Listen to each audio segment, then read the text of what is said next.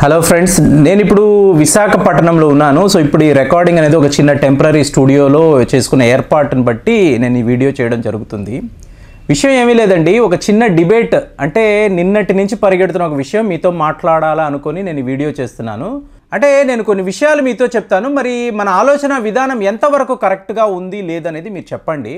చూడండి మొన్న భీమవరం వెళ్ళాం. భీమవరంలో చాలామంది చాలామందిని కలిసాము. చాలా అద్భుతమైన మీటి అసలు అభిమానాన్ని మనము ఎలా అభివర్ణించాలి ఎలాగ మనం డిస్క్రైబ్ చేయాలో అర్థం కావడం లేదు. సరే భీమవరంకి సంబంధించిన వీడియోస్ అనేది మేము ఎడిటింగ్ చేస్తున్నాం. అది కొంచెం లెంతీగా ఉంటుంది కాబట్టి ఎడిటింగ్ అనేది చేస్తున్నాం. దాని తరువాత చూడండి మేము పాలకొల్లు వెళ్ళాం. ఈ పాలకొల్లు వెళ్ళేటప్పటికి శ్రీ క్షీర రామలింగేశ్వర స్వామి దేవస్థానం. సో ఈ గుడికి వెళ్ళినప్పుడు మీకు అక్కడ గుడి పెద్దలు అనండి ఊరు పెద్దలు అనండి నన్ను కలవడానికి వచ్చారు.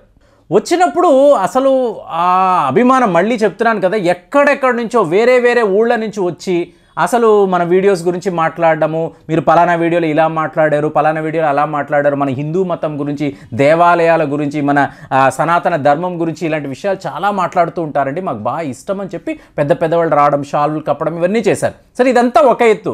కానీ మీరు గమనించారనుకోండి ఆ ఊర్లో ఉండే ఆ యూనిటీ అనేది పాలకొల్లులో మీకు చాలా అద్భుతంగా అనిపించింది.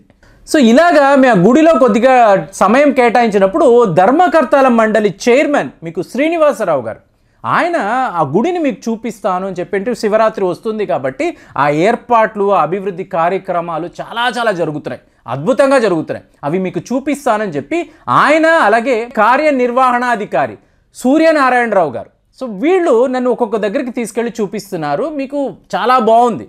ఇక్కడ ఇక్కడ ఇదే మిమ్మల్ని అడగాలనుకుంటున్నాను. ఒక కొత్తగా వీళ్ళు ఏర్పాటు చేసిన గోశాల. ఈ గోశాలను చూసినప్పుడు అక్కడ ఒక పేరు నాకు కనిపించింది. సో రాత్రంతా ట్రావెలింగ్లో అంటే పాలకొల్లు నుంచి విశాఖపట్నం రాత్రి నుంచి రావడానికి మాకు పన్నెండున్నర ఒంటి గంట అయింది. సో రాత్రంతా ట్రావెల్ చేస్తున్నప్పుడు ఇదే నేను ఆలోచిస్తున్నాను. ఏమిటి అంటే అక్కడ ఉన్న ఆ పేరు.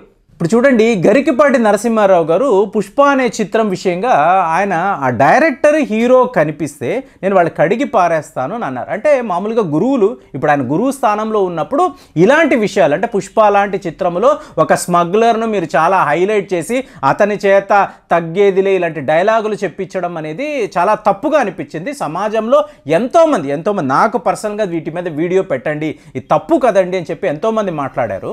కానీ మీరు చూడాల్సిన విషయం ఏంటంటే ఒక దర్శకుడు ఒక హీరో దగ్గరికి వెళ్ళి ఒక కథ చెప్తాడు. అంటే ఈ సుకుమార్ అనబడే దర్శకుడు అల్లు అర్జున్ గారి దగ్గరికి వెళ్ళి ఒక స్టోరీ చెప్పాడు. స్టోరీ చెప్పడం ఆయనకి నచ్చింది. ఆ క్యారెక్టర్ యొక్క డైమెన్షన్స్ చూశాడు పర్ఫార్మెన్స్ చూశాడు డైలాగులు యాక్సెంట్ ఇవన్నీ చూసుకొని ఇతను ఒప్పుకున్నాడు. సో ఇతనికి ఇవ్వాల్సిన పేమెంట్ వాళ్ళు ఇచ్చారు. ఒక ప్రొఫెషనల్ యాక్టర్ ఏం చేయాలో ఆ పని మీకు పుష్ప అనేబడే చిత్రములో అల్లు అర్జున్ చేశారు. కానీ సమాజంలో ఎలా ఉంటుందంటే ఒక పాపులర్ హీరో చేస్తున్న పనులను యువకులు ఫాలో అవుతారు. అంటే వాళ్ళని వీళ్ళు ఇమిటేట్ చేయాలని చూస్తారు. వీళ్ళ ఇన్ఫ్లుయెన్స్ అనేది వాళ్ళ మీద చాలా చాలా ఎక్కువ ఉంటుంది. కాబట్టి వీళ్ళు ఎంచుకునే పాత్రలు చెప్పే డైలాగులు సమాజానికి ఎక్కడా కూడా ఇబ్బంది కలిగించని విధంగా ఉండాలి. రేపు తల్లిదండ్రులు బాధపడకూడదు. అయ్యో ఈ హీరో చేసిన సినిమా చూశాడు మా వాడు ఇలా తయారైపోయాడు. ఇప్పుడు చూడండి మీకు ఆ బెల్ట్లో ఎక్కడైతే ఈ చిత్రాన్ని తీశారో ఆ బెల్ట్లో నివసించే యువకులు ఇదేదో స్మగ్లర్ అంటే చాలా పెద్ద హీరో అల్లు అర్జునే చేశాడు కదా మేము కూడా చెయ్యొచ్చు కదా అని చెప్పి వీళ్ళు స్మగ్లర్లుగా మారిపోతే అప్పుడు పరిస్థితి ఏంటి? అంటే సమాజానికి మీరు ఎలాంటి మెసేజ్ చెప్పాలని అనుకుంటున్నారు? ఇవన్నీ ఆలోచించాలి కదా. ఈ పాయింట్ ఆఫ్ వ్యూలో గరికపాటి నరసింహారావు గారు చాలా కోపంగా ఆయన మాట్లాడారు. చెప్తున్నా కదా గురువు స్థానంలో ఉండే ఒక వ్యక్తి ఆటోమేటిక్గా ఇలాగే రియాక్ట్ అవుతారు. ఈ రియాక్షన్లో ఏ తప్పు కూడా లేదు.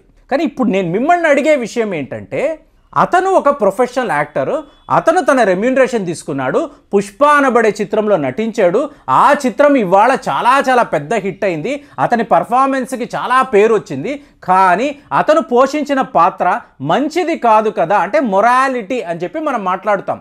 అలాంటప్పుడు ఇప్పుడు చూడండి ఇంకొక ప్రముఖ నటుడిని నేను చూశాను. ఒక కూల్ డ్రింక్ కంపెనీ అడ్వర్టైజ్మెంట్లో పోయిన సంవత్సరం నటించాడు. ఇప్పుడు దానికి వ్యతిరేకంగా ఉండే ఇంకో సమస్య అంటే ఏంటి? కాంపిటీటర్. ఆ కాంపిటీటర్ యొక్క అడ్వర్టైజ్మెంట్లో కూడా వాళ్ళ కూల్ డ్రింక్ సంస్థ కూడా ఇవాళ ఆయన నటిస్తున్నాడు. అంటే ఏంటి? డబ్బు తీసుకొని ఆ సంస్థ కోసం చేస్తాడు ఈ సంస్థ కోసం చేస్తాడు. యువత ఏం ఆలోచిస్తారు లాస్ట్ ఇయర్ వరకు ఆయన ఆ కూల్ డ్రింక్ తాగాడు సో మేము అది తాగాము. ఈ సంవత్సరం నుంచి ఆయన ఈ కూల్ డ్రింక్ తాగుతున్నాడు మేము ఇది తాగుతాం అనుకుంటే మీకు సమాజము వాళ్ళ యువకుల ఆరోగ్యం ఇవన్నీ ఏమైపోతాయి? వాళ్ళు డబ్బు తీసుకొని నేను అడిగేది ఒకటే ఈ హీరోలు ఇలాంటి కూల్ డ్రింక్ కంపెనీల కోసం అడ్వర్టైజ్మెంట్స్ చేస్తున్నారు చూసారా?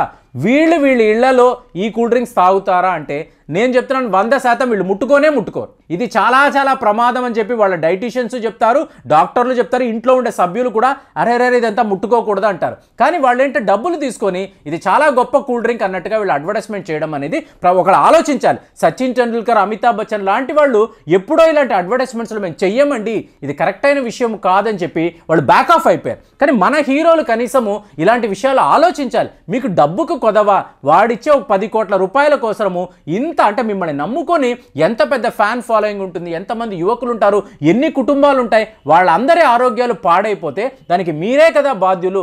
నేనేంటండి బాధ్యుడు? నేను జస్ట్ అడ్వర్టైజ్మెంటే కదండి మిమ్మల్ని చూసుకొని చాలామంది ఇన్ఫ్లుయెన్స్ అవుతారు. ఇది మీరు గమనించాలి.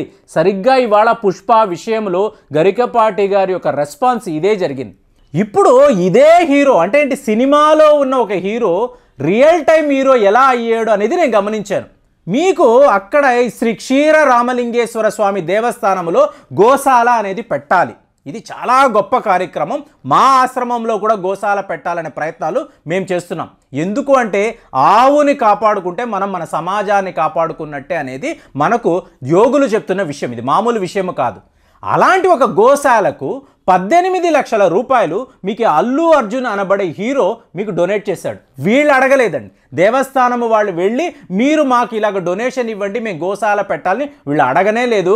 అతనికి అతనుగా బన్నీ వాసు అని తన మిత్రుడికి చెప్పి నువ్వు వెళ్ళి ఇలా మాట్లాడు నేను పద్దెనిమిది లక్షలు ఇస్తాను అక్కడ ఒక అద్భుతమైన గోశాల పెడదాము దానికి కావలసిన పోషణ ఖర్చులంతా కూడా నేను పెట్టుకుంటానని చెప్పి అతను చెప్పాడు అంటే దానికోసం పద్దెనిమిది లక్షలు ఖర్చు పెట్టాడంటే అల్లు అర్జున్ నిజమైన హీరోనా?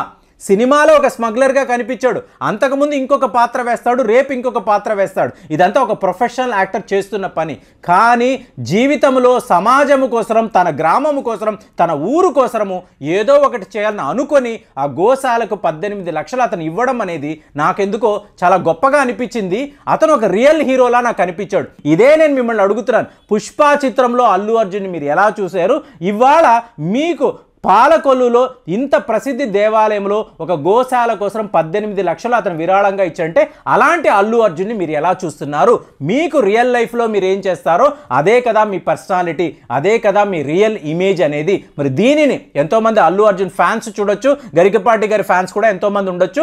ఇందులో దీని విషయంగా చాలా పెద్ద చర్చలు జరిగే నాకు కూడా ఎంతోమంది వీడియోని ఫార్వర్డ్ చేశారు. ఆయన ఆవేశం అనేది నేను క్లియర్గా చూడగలిగాను. మరి ఇక్కడ పాలకొల్లులో ఇలాంటి ఒక అల్లు అర్జున్ని నేను చూశాను. మరి దాని గురించి మీరేం ఆలోచిస్తున్నారు. మీకు స్వయంగా చైర్మన్ గారు మాట్లాడారు. మాట్లాడే క్లిప్ కూడా నేను మీకు చూపిస్తాను. ఈరోజు ఇక్కడ అభివృద్ధి కార్యక్రమం గురించి నన్ను అడగడం జరిగింది. అభివృద్ధి కార్యక్రమం అంటే నేను వచ్చి పది నెలలు అయిందండి ప్రమాణ స్వీకారం చేసి. మా గురువుగారు గురువు అయినటువంటి కౌరు శ్రీనివాస్ గారి ఆధ్వర్యంలో నేను ప్రమాణ స్వీకారం చేయడం జరిగిందండి. అప్పుడు కాడి నుంచి కూడా అభివృద్ధి అనే పదంలోని దూసుకుపోవాలని చెప్పి నాకు ఫస్ట్ నుంచి కూడా ఆకాంక్ష అండి. దానికి తోడు మా ఈవో యాల సూర్యన గారి సహకారం అండి. నా పాలక మండలి సభ్యులందరూ కూడా పూర్తి సహకారంతో చేయడం జరిగింది. ముందుగా భక్తుల కోసం చెప్పుకోవాలండి. నేను అభివృద్ధి అనే కార్యక్రమం పెట్టిన కాడి నుంచి కూడా భక్తులు ఎంత పెద్ద ఎత్తునమాట. నేను సహకారం చేస్తాను ఏం చేయమంటారని అడిగే పరిస్థితులు వచ్చినాయండి. అలాగే అల్లు అర్జున్ గారు సినీ నటులు అల్లు అర్జున్ గారు పద్దెనిమిది లక్షలతో గోశాల నిర్మాణ కార్యక్రమం జరిగిందండి. గోశాల వాహనశాల రథశాల కార్యక్రమాలు చేయడం జరిగిందండి. అయితే వారి దగ్గర నుంచి మీ ఒక్క రూపాయి కూడా మేము తీసుకోలేదు. వారి ఆధ్వర్యంలోనే వారే చేసుకోమని చెప్పామండి. అలాగే వారు కూడా ఆ తాపిమేస్త్రి కానివ్వండి పెయింటర్లు కానివ్వండి అన్నీ కూడా వాళ్ళ దగ్గరుండి వాళ్ళ సొంత మనుషులతోనే గో నిర్మాణాన్ని కూడా చేయడం జరిగిందండి. అటువంటి కార్యక్రమాలు ఆయనే చేసుకున్నారండి. ఒక్క రూపాయి కూడా మేము అందులో భాగంగా మేము తీసుకోలేదండి. చూడండి అల్లు అర్జున్ ఇలాంటి ఒక అంటే చాలా గొప్ప విషయం కదండి. గోశాల కోసం మీరు పద్దెనిమిది లక్షలు అంటే చాలా చిన్న అమౌంటే అవ్వచ్చు. కానీ ఎంతోమంది హీరోలు ఉన్నారు కదా ఎవరు ఇలా చేయాలని ఎప్పుడూ అనుకోలేదు కదా. అంటే ఆ ప్రాంతం నుంచి వచ్చిన వాళ్ళలో ఎంతోమందికి ఇలాంటి ప్రపోజల్స్ ఉండుండొచ్చు. కానీ ఎంతమంది చేశారు? అల్లు అర్జునే ఇప్పుడు ఆ గోశాలకు కావాల్సిన నిర్మాణం చేశారన్నది చాలా గొప్ప విషయం. ఎవరు చేసినా కూడా ఇతరే కాదు ఇంకొక హీరో చేసినా కూడా ఖచ్చితంగా మన అందరం కూడా మెచ్చుకోవాలి కదా. సో మరి ఈయన మెచ్చుకోవాలా? లేదా పుష్ప అలాంటి చిత్రంలో అలాంటి ఒక పాత్ర వేశాడు. ఇతను ఎంత మంచి చేసినా కూడా సమాజానికి ఈయన చేస్తున్న మంచి అనేది అందదని మీరు అభిప్రాయపడుతున్నారు. నాకు మాత్రం అది గొప్పగా అనిపించింది. మరి మీకు ఎలా అనిపించింది? రియల్ టైం హీరో ఎలా ఉంటాడు? రియల్ టైం హీరో ఎలా ఉంటాడు? అనే ఆ తేడాను నేను చూశాను. మరి మీరు పుష్పాని ఎలా చూశారు? ఇవాళ ఇవాళ నేను చెప్తున్న పాలకొల్లులో ఈ గోశాలకు సంబంధించిన నిర్మాణానికి కావలసిన ఆ డబ్బు వసతి అనేది అల్లు అర్జున్ చేశాడనే దాన్ని మీరు ఎలా చూస్తున్నారో దయచేసి మీరు కామెంట్స్లో చెప్పండి. ఇది కొంచెం కాంట్రావర్షియల్ సబ్జెక్ట్ కానీ మనం ఇష్యూ బేస్డ్గానే ఎప్పుడు మాట్లాడాలి. ఎవరికి మనం సపోర్ట్గా ఉన్నాం ఎవరికి మనం వ్యతిరేకంగా ఉన్నాం అనేది కాదండి. సమాజానికి మంచి జరగాలి మన జాతికి మంచి జరగాలి. దానిని ఎవరు చేసినా కూడా దానిని మనం మెరిట్గానే చూడాలి. సో అలాంటి విషయంలో మీరు అల్లు అర్జున్ మీద ఎలాంటి అభిప్రాయాలు కలిగి ఉన్నారో. దయచేసి సోషల్ ప్లాట్ఫామ్లో మీరు షేర్ చేయండి. నాతో పాటు మీ అభిప్రాయాలు పంచుకోండి. మళ్ళీ వచ్చే వీడియోలో కలుద్దాం. జై హింద్.